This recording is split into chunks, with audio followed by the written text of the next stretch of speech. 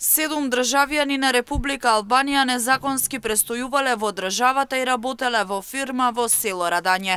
На 12. ноември во 14 часот и 30 минути во атарот на село Радање, општина Карбинци, полициски службеници од секторот за внатрешни работи Штип по наредба на основното јавно обвинителство Штип во содејство со трудова инспекција извршиле контрола во правен субјект, каде биле затекнати Ара 33 години, ЛР 59 години, ФЛ 63 години, ДЗ 42 години, БЗ 51 година, АДА 36 и КЗ 59 години сите од Република Албанија, за кој било констатирано дека престојувале незаконски во државата, а биле работно ангажирани во правниот субјект. По целосно документирање на случајот, ќе биде поднесен соодветен поднесок.